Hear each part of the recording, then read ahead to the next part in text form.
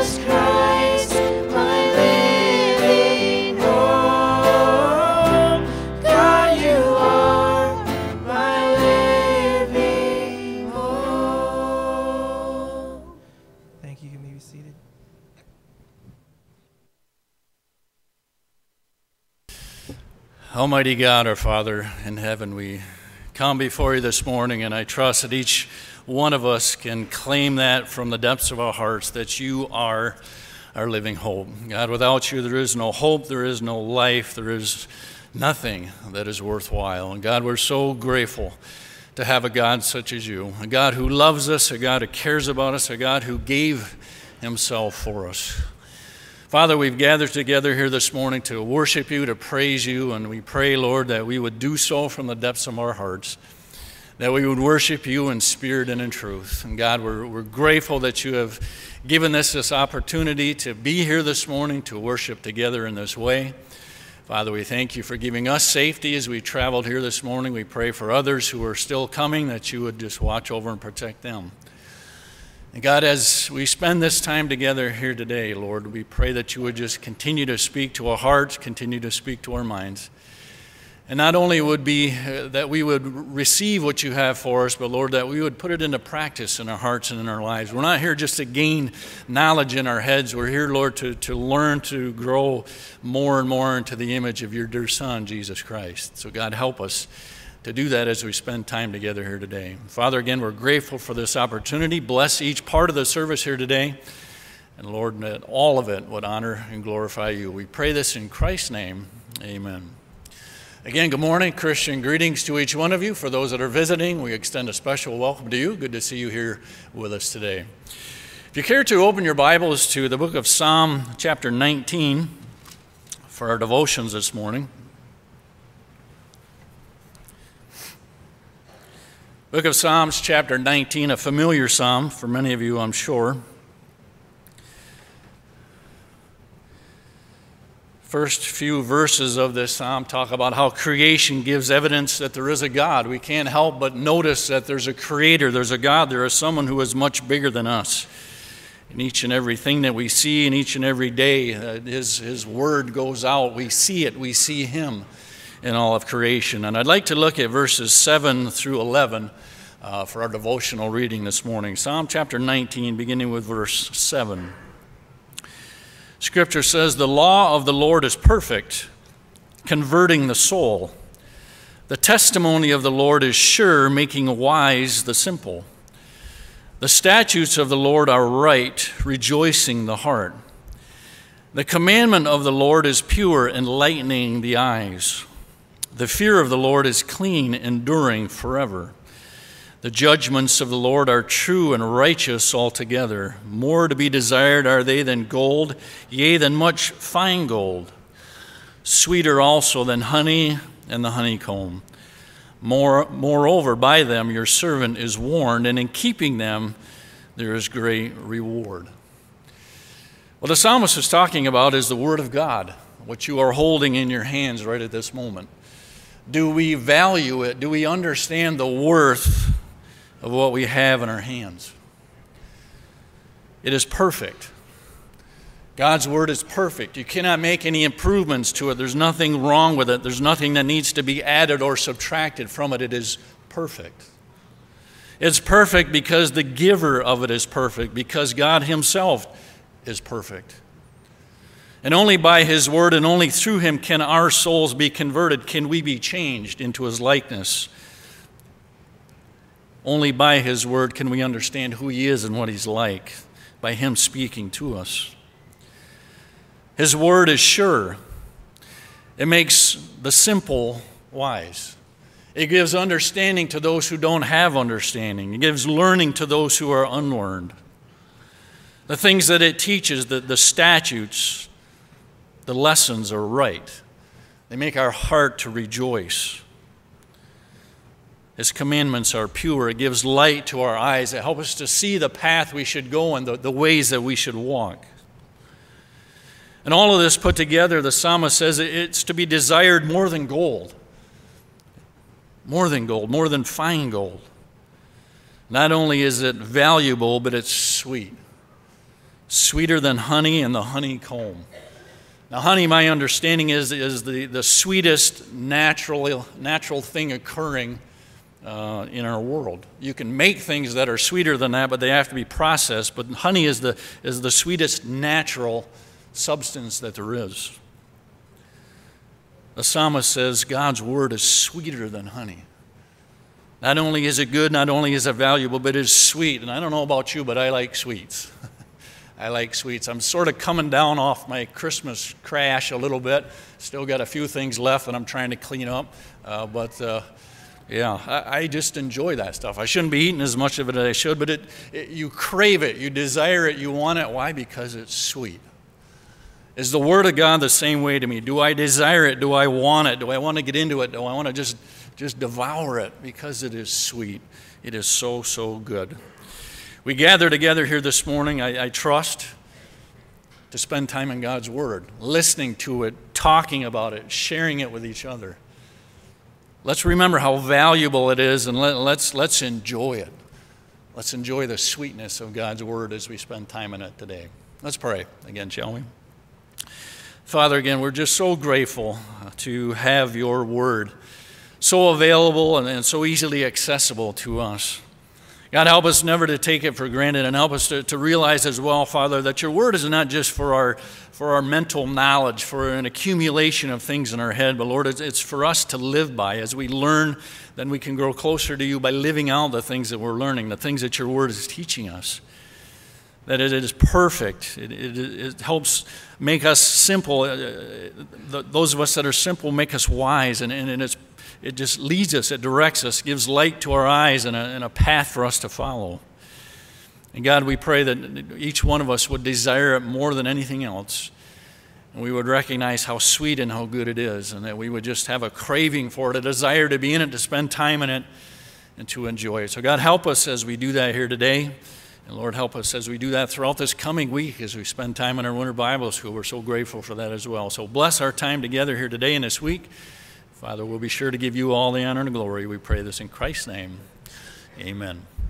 Thee beyond all worlds, by faith I soar before thy boundless majesty.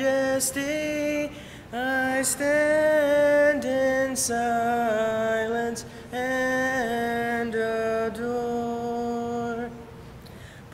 Savior, thou art by my side, thy voice I hear.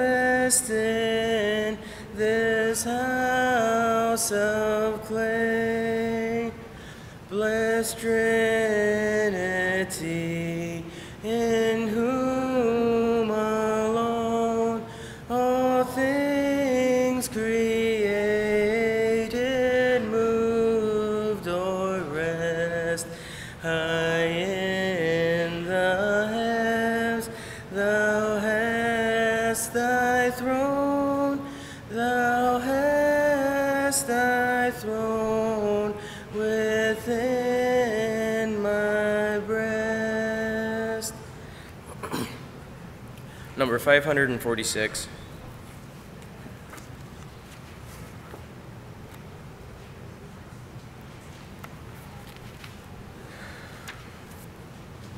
Number 546. And those who care to may stand.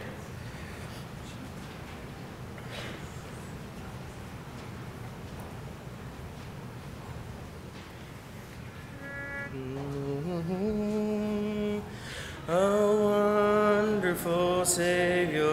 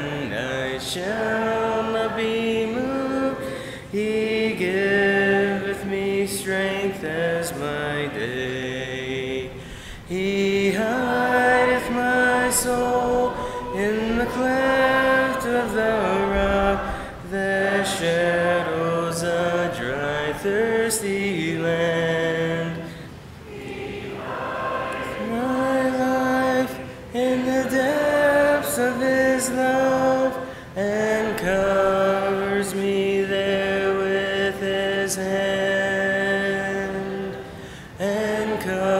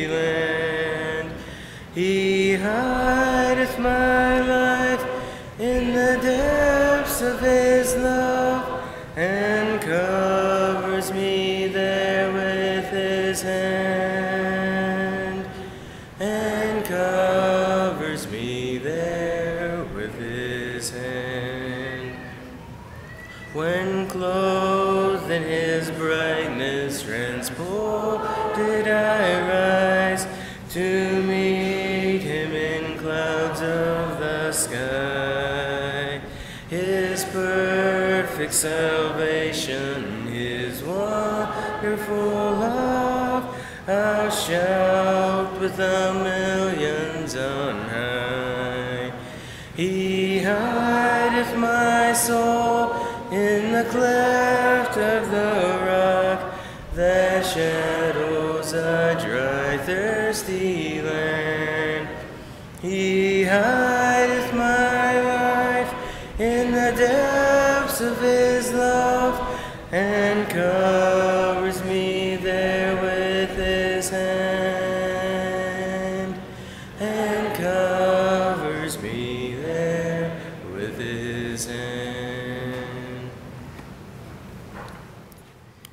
Father, this morning we're grateful for, again, this opportunity to open your word, to be nourished, to be fed, to be challenged.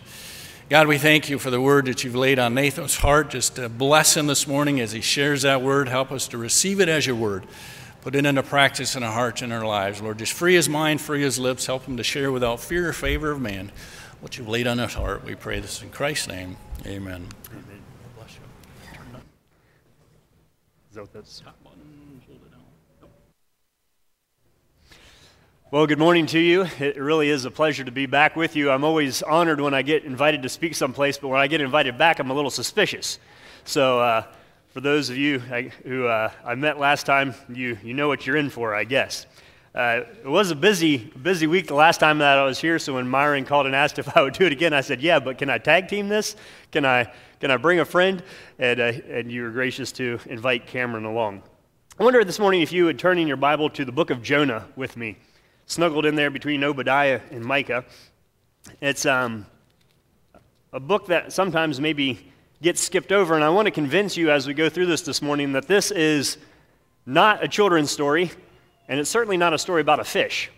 Um, but I, uh, I think there are a number of different ways in which we can look at that at several different angles. One of those would be the, the missions aspect of what's going on there. I think there's a lot to be learned about the concepts of divine mercy and judgment, but I want to look at a little bit at the angle of this as we look at sort of the idea of God's sovereignty and human responsibility and what it is exactly that we are and what He might have for us. And this is uh, not just an introduction to the book of Jonah. It's a, I, I hope, sets a precedent for us as we move throughout this whole entire week. A long, long time ago, my great grandfather and a friend of his who was a seminary professor were fishing in a rowboat off the eastern shore of Maryland. And uh, they weren't having a whole lot of luck where they were at, so they decided to collect their gear and row to another place. And uh, as they were pulling in their gear, they got into a heated theological discussion. And uh, it kind of intensified as it went, and the harder they argued, the harder they rowed. And so they, uh, at a certain amount of time, had exhausted themselves and felt like they had exhausted the topic. And they looked around and said, Oh, well, this looks like a good spot to fish. We're going to set the argument aside and we're going to fish. And they went to throw down their anchor and realized that actually they had never picked their anchor up in the first place. Uh, in their argument, they had rowed their hearts out and gotten nowhere. And uh, it's sort of a funny story. You think, how could you do that? Well, maybe you haven't been in a theological argument with a seminary professor before. But the, there's a humorous story to that, but there's the illusion of progress without actually moving anywhere. And I have to admit to you that I've listened to sermons in that posture where there's the illusion of progress, but I haven't moved anywhere. And I've probably preached sermons like that before where there's the illusion of progress, but practically speaking, I didn't move anywhere. And so my hope is, is that as we go through looking at Jonah here, that we would put ourselves in a posture that whatever the Lord has for us this week, we would be open to receiving that, and that we would be people who could be appointed by Him uh, to do the right thing. It's customary as you start in on the book of Jonah to make some joke about it being a whale of a tale or there's something slightly fishy about it and all of that. But as we go into it, I want to convince you that the fish in this is probably, well, it's probably in the top 10 interesting things that happen, but it is certainly by no stretch of imagination the only surprising thing that happens in it. And I got stuck on this because uh, I'll be using the, the NIV this morning, but I enjoy a lot of different translations. And I was looking, particularly in chapter 4, there's a, a phrase in there that, that got stuck in my mind over the last few months, and it's this. And uh, this is in Jonah chapter 4, verse 7. And, in the, and I was reading the New American Standard at the time, and it says, And the Lord appointed a worm. And the Lord appointed a worm. So, as my friend and colleague Cameron McAllister and I were setting off on a, new adventure, looking at ways in which we could serve the church, and we would run into things that uh, were frustrating our plans a little bit. Cameron would call and say, How is this project going? And I would say, Well, the Lord appointed a worm. And that was my code for saying, oh, there's something that's other than what I would like there. But it gets interesting as we look at it is that the worm is not the only thing that is appointed in the book of Jonah. And so, what I would like to do is just walk through Jonah. I'm not going to read it all, but just highlight some things as we go through to kind of set the stage so we're all on the on the same page of kind of what the big story is and what's happening. So you have Jonah. Actually, Jonah is referenced in 2 Kings chapter 14. He comes in the sequence of prophets right after Elisha. So there's the, the record of him, yes, pretty short, 2 Kings chapter 14.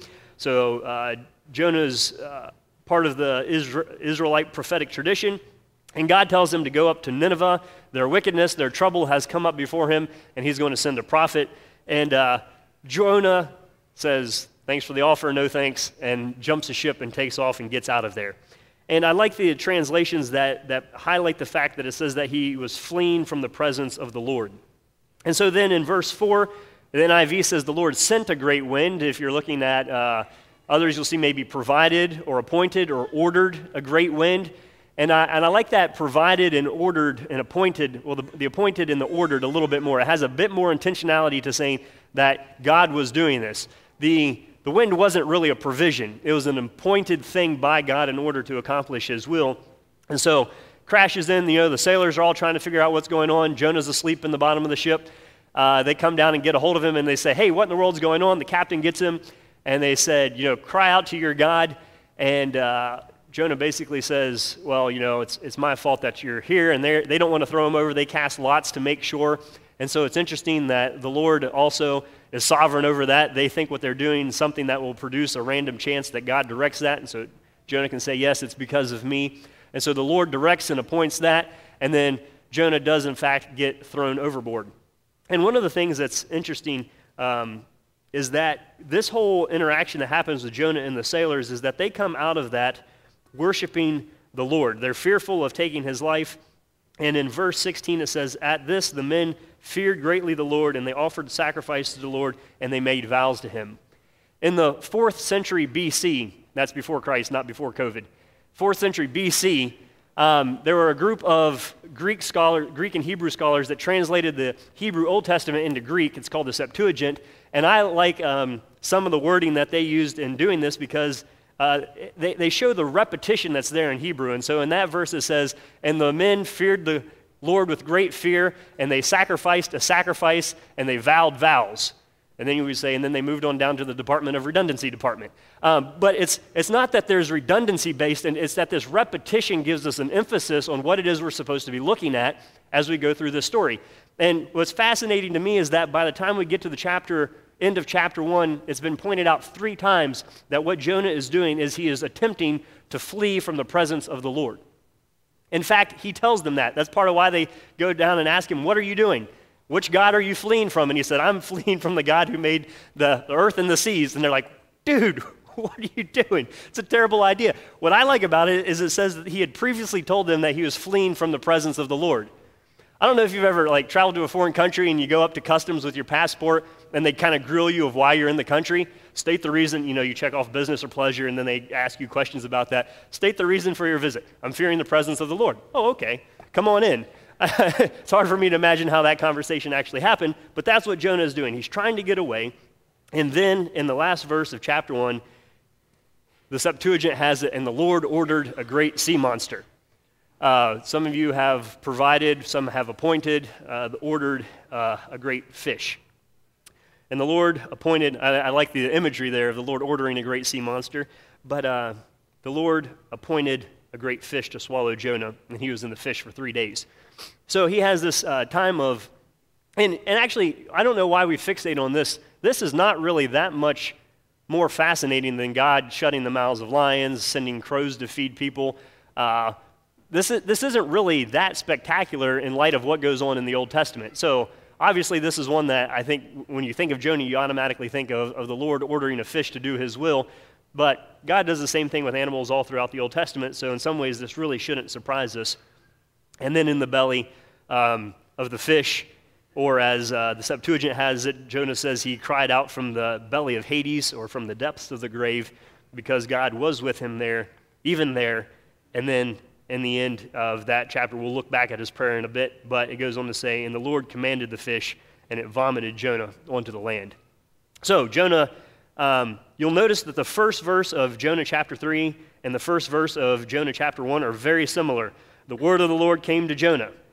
Uh, except this time when he says, Go to Nineveh, in verse 3 of chapter 3, it says, And Jonah obeyed the word of the Lord because the whole ship thing didn't really work out the last time. I guess he had a choice here to try something else, um, but he had a change of heart somewhere in the belly of the fish. So Jonah does go to Nineveh, and he begins, it's a three day journey to get across it, and he begins to preach. And as you know, there's a, a, a wild revival takes place. Everybody starts repenting. It's fun to well, maybe it's a distraction in my mind to start thinking about what this actually looked like uh, when the ruler of the city orders that they don't feed any of their animals or give them any water for three days and that they put sackcloth on them. Uh, those of you who are familiar with cows can imagine what your barn would sound like two days into this if you didn't feed or water your animals and if you tried to put all sackcloth on all of them. I've, you think the fish is amazing, try coming up with enough sackcloth to cover your cattle that's a, a whole other category there. But anyway, it's a sign of great repentance. And you know what? Their repentance is genuine, and the Lord sees it. He sees that they're turning from their evil and their violence, and He has compassion on them. Some of us have been, uh, maybe have a sanitized version of this. If you've ever watched the Veggie Tales, that the great sin of Nineveh is that they were slapping each other with fishes. Um, I don't think that's probably historically accurate, but they were sinning, and then they repented, and then God relented from the disaster that he was going to bring on them. And then we begin chapter 4 with Jonah being greatly displeased. And he says, basically, I told you so. What was the purpose of me coming here? I knew that you're this type of God. I knew that you were going to forgive them. That's why I was so quick to flee. I knew you are a gracious and compassionate God, slow to anger and abounding in love. And then a God who relents from sending calamity. And then, what an attitude for a prophet. It's better for me to die. Verse 3. And the Lord says, Do you really, do you really have the right to be angry? And so Jonah goes out. I don't know what he's thinking. He's going to sit on the east side of the city and just watch and see what happens. And it says in verse 6 that the Lord provided, or the Lord appointed, or the Lord ordered a vine. So the Lord speaks and orders a vine, and that is a quickly growing vine because it pops right up there and it covers Jonah, and he's in the shade. And Jonah was very happy about the vine. But the next morning, the Lord appointed a worm, which chewed through the vine, so it withered, and then the Lord sent a scorching east wind. If you have the King James, I like the vehement wind. Uh, the wind blew vehemently. Uh, this is a scorching hot wind, so no shade, and he's basically putting Jonah in the popcorn popper. Um, he's roasting him.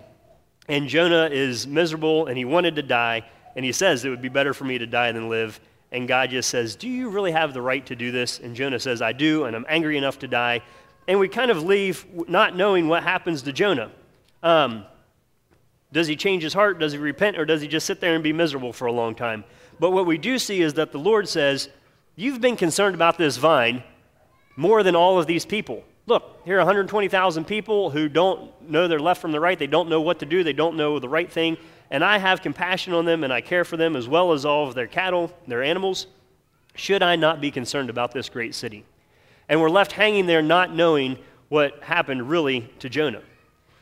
I think it's interesting to look at this in the sense that Jonah in some ways is the like the antithesis of Isaiah. He's the opposite of Isaiah. What happens at the beginning of Isaiah? God makes himself known to Isaiah, and Isaiah, you have the whole, the, the holy, holy, holy, and the woe is me, I'm undone. And then he says, Who will go? And he says, Here I am, send me. So, total volunteer, right? I'm, I'm willing to respond in worship and with my life to your will. And then God tells him what? You're going to spend your whole life preaching and nobody's going to listen to you. Jonah is the exact opposite of that. God shows up, says, This is what I want you to do, and there's no, here I am, send me from Jonah, he jumps on a ship and tries to get out of there. And incidentally, every single person that Jonah talks to in this entire book repents and worships the Lord. Every single one. He is the worst, he has the worst attitude of any prophet, perhaps, in the Old Testament, and is the most effective revival speaker you've ever seen. Even the people that throw him off of the ship fall down and worship the Lord in response to that. An entire city, 120,000 people repenting in sackcloth and ashes, and he's mad about it. It's, he's the opposite Isaiah. God is working through him. But what I want to point out here and where I want to begin to dig into this as it maybe begins to apply to us and we think about what it is that we are as humans, what God might be wanting from us, is I would just like to point out this. The Lord sent a prophet. The Lord appointed a storm. The Lord appointed a fish. The Lord appointed a vine or a gourd. Uh, some translations have gourd. The Lord appointed a, a gourd. The Lord appointed a worm. The Lord appointed a wind. So there are all of these appointments gourds, wind, fish, everything, you name it. There is only one creature in this entire story that when God appoints it, he has trouble with. And it's Jonah. It's the human. The worm does what it's supposed to, the fish does what it's supposed to, the wind does what it's supposed to, the gourd does what it's supposed to. All of them, God speaks and they do it. He appoints them, he orders them, and they instantaneously do it. The only creature who's appointed or sent in the book of Jonah that is miserable about it is Jonah.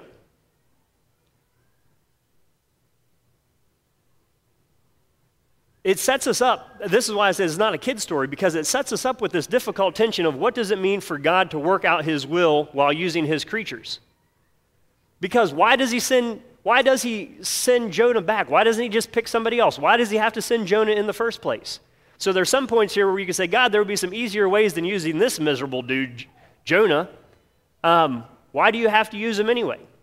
So there's that whole element going on. And then there's the question of, did God accomplish his will through Jonah? And the answer to that is yes, absolutely, he did.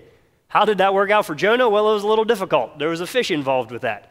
Um, but there's this idea that we're, we're understanding through the book of Jonah this idea of the sovereignty of God and his ability to command and control and to order. We like singing that hymn in the evenings to our children Be still, my soul. The Lord is on thy side. And you remember that line um, Leave to thy God to order and provide. In every change, he faithful will remain. And there's that idea of Be still, my soul. The wind and the waves still know his voice who ruled them while he dwelt below. And that is a right and a good thing to sing. We see this throughout the New Testament, we see this throughout the Old Testament, that God speaks and He orders creation and nature and has total control over those, except for this one little problem called humanity. It's the human in the problem that is sometimes difficult. And so when we look at this idea of the sovereignty of God and human freedom, this really has big implications for how it is that you see yourself in relation to God and what you think your responsibilities are. And I don't think there's actually any type of a conflict there. There are theological systems that try to work one in there, but I don't see a, con- a conflict there. Rather, I see a God who created us to be complex. The way that we are is the way that we are because of a sovereign God who has the power to create a creature that can freely choose to do something which actually, if you think of a God who can orchestrate his will in the world while using creatures who have genuine freedom to accomplish God's will, that is a God worth worshiping. That's mind boggling. I can't quite piece that together, but that seems to be the theme of what's happening in here. And so God can continue to accomplish his will while giving freedoms to humans. And that is the foundation, I think, of understanding that relationship that puts us in the proper posture of worship. Now, note something here is that it's not only, Jonah was not only the only one who disobeyed, Jonah is also the only one who claims to worship God in this entire thing. Certainly the sailors do after they repent, and the town of Nineveh does, but he says that to the sailors on the boat I worship God. And so there's something about this ability to say no to God's commands that makes the worship legitimate. Now, we might look at this and say Jonah was a lousy worshiper, but he had this concept built in there of God's goodness. He says, he says, you know, it's not like he didn't believe in God. He said, I know that you are a good God, that you're slow to anger, that you're compassionate. He listed it all out there. Um, he understands who God is, he, he worships. And so there's that complexity of human nature that we don't have the worm worshiping, the gourd doesn't do any worshiping, the fish doesn't do any worshiping. It's humanity that is called to worship this sovereign God. And so God does complete what he sets out to do. That always happens. But doing it, again, just to reiterate the point, with a creature that can say no, um, that's amazing. Now, that doesn't mean that if you say no to God, there won't be some consequences of that. My grandfather says that he likes to get up in the morning and give God his attention because he's found that it hurts when God has to get his attention. So it's better to start off just giving it to him than having him take it uh, or need to get it. So that's the, the, the, the the, the, kind of the theological framework of what's going on there. But as we turn the corner and begin looking at what that might mean for us through just our cursory glance through Jonah here and, and even for our very lives, and hopefully, certainly for this week as we lean into it, is that there's some important things here. One of those is that Jonah's problem was not a lack of belief in the existence of God. Oftentimes, when we say that we believe in God, we, we're saying that as if we can say that if I provide intellectual assent to the category that I believe in the existence of God, that means something spectacular. And it doesn't. So James says, Oh, you believe in the existence of God? Cute. so do the demons. There's nothing to it. Jo- Jonah's problem was not the existence of God. And actually, Jonah's problem wasn't the character of God. He knew that God was good. In fact, he thought God was a little too good. Uh, that's not the issue. And Jonah's problem was not a lack of information. He knew exactly what God wanted him to do and just said no to it. And so many times I think it's interesting when we're thinking evangelistically or apologetically in our discipleship formation that the biggest barriers and hangups that people have, which is sometimes totally true, is that inability to believe in the existence of God, or I'm not sure that God's provided enough clarity of what He wants me to do, or I don't know what God is like. Um, all of those were eminently clear to Jonah, and he still looked at it and said, think I'll take a boat. So there's an obedience issue that comes into here that God can make himself clearly known to us and we can still reject it. This is not actually unique to the Old Testament in general, certainly not the book of Jonah, but also think about the New Testament. What does Jesus do? What is his posture toward humanity? When Jesus shows up on the scene, who is the, the fullness of the character of God, and we can talk about that, I think we will later in the week, of when we're trying to figure out what God is like in that question, we're looking to that, the, the image of Christ there. But in this, this idea of Jesus' interaction with the world, what does Jesus do? Does Jesus have trouble raising the dead? No, not at all. Healing the sick? No. Multiplying loaves, coming up with fish? He can do it all. Jesus calms the storm, walks on the water. The list goes on and on of things, spectacular things that Jesus does in his interaction with nature, yet he weeps over the hearts of, Jer- of the men of Jerusalem. O Jerusalem, Jerusalem, how I have longed to gather you as a mother hen gathers her chicks. Jesus can do everything, and you would just say, well, why not go the next step? Why can you, if you can order the storm, why can't you order repentance? If you can order the storm, why can't you command obedience?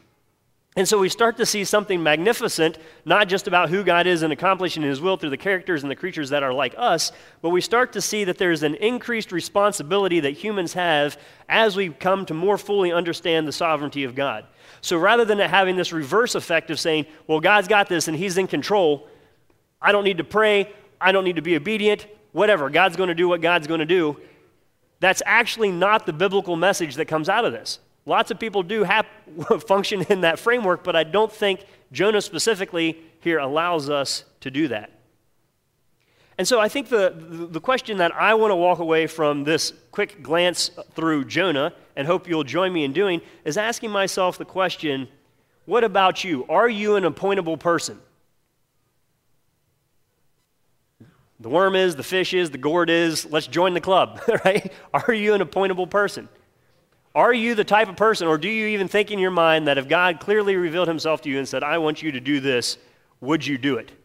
And we often, I think, trick ourselves by saying that if God came to me and made himself known and said, I want you to do this, that we would automatically do it. And Jonah challenges that assumption. So it puts it back on us. I think, and commentators have said, uh, skimming over the end of a couple commentaries, are saying that might be part of the reason that the book of Jonah is, is left kind of open ended like that. Like you just leave Jonah there being miserable, um, is because it invites us into thinking, well, what is our part in this? How do we, how do we concept, what's the rest of the story? But what, how do we fit into the rest of what that story is? Are we appointable? Will we actually do what God asks us to do? We know that He exists, we know that He is good, but will we do the thing that He asks of us? In, in chapter 2, in verse 8, while Jonah is, is praying in the, in the belly of the fish, I don't know how your translation has it. I remember when I was a little kid, this, this verse was uh, written and taped on our refrigerator door for a while. And it says this in verse 8, the first part those who cling to worthless idols forfeit the grace that could be theirs. That's the 84 NIV version of that. The idea being there that those who look to idols forfeit the grace, forfeit the goodness, forfeit the mercy and the compassion that could be theirs because you know what? If you're relying on something that you carved out, you're forfeiting the grace that could be yours. Jonah can see that clearly, that this is the best way. You are a gracious and compassionate God who relents on sending calamity. You don't get that from an idol. But the attraction to the idol is this is that if you build an idol in your life, those who cling to worthless idols forfeit the grace that could be theirs. But you know what else an idol doesn't do? An idol doesn't send you off on crazy missions that end up with you in the middle of a fish. And so there's a safety that we forfeit when we cling to the things that we idolize. Now, I doubt many of you have a little Buddha whose belly you rub in your nightstand at night, but there are other forms of idolatry that we can participate in very easily, and I'm not going to start naming those because just because I say mine, I might miss yours. You might have to come up with that list. You do need to come up with that list on your own. What are the things that are preventing me from being an appointable person? And I think for me, and broadly speaking for humanity, it's our attempts at self preservation that are our enemies to our appointability. Yeah, but I got to take care of this. Yeah, but I need to do this. I am responsible for this. Lord, you can't ask me to do that because I'm in charge of this. What about these people? What about, and I think that's the heart of what Jesus is poking at, you know, the whole setting aside, uh, not loving your family more spiel that he has. That's the challenge. Am I an appointable person? And if not, what is holding me back? And why not? Jonah's attempt was to flee from the Lord's presence. And we might think that on the first glance that that sounds like a crazy thing to do. Uh, but it might be something that you want to do too. And it's not unique to Jonah. Actually, think about Peter. Remember Peter in his first encounter with Jesus? What's he do? Get away from me, Lord. I'm, I'm not worthy. Isaiah responds to, a response to our response to the holiness of God is that we're unworthy. As many wise people have pointed out, if you want to feel spiritual, don't get close to God. It's because it's when our, in our proximity to the understanding of, who, of the holiness of God that we recognize we're unworthy. And so there's a heaviness to the presence of God in our lives whenever we're trying to work against it and it doesn't fit with the plan that I have. Rid yourselves of selfish ambition, Paul says, because there's this odd discomfort that happens in our lives when the presence of God is made known and our will does not align with what it is that God wants from us. When we turn and we go with it, we experience it as, as His love, but when we rebel against it, we receive it and we experience it as His wrath and His suffering. It's a miserable thing. And so there are times in your life, I bet you've been under conviction about something and you felt a little bit Jonah esque.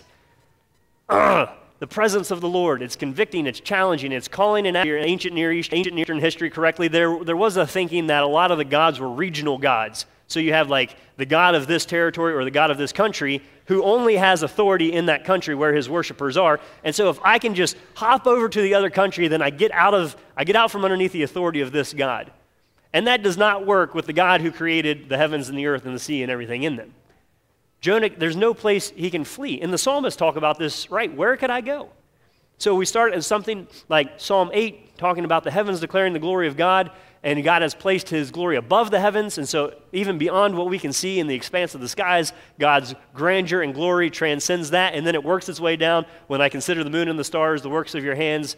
Um, and then the works of your fingers. What is man that you are mindful of him? And so the psalmist helps us out here with this Jonah problem, with this modern people problem, with the modern Nathan problem of recognizing the supremacy and the sovereignty of God and the gloriousness of who He is, and then trying to figure out what in the world are you doing with somebody like me, Lord?